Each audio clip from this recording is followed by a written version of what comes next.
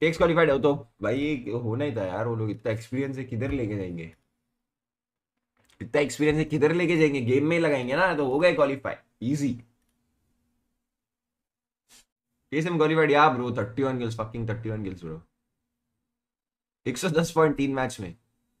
110 fuck 36 37 का average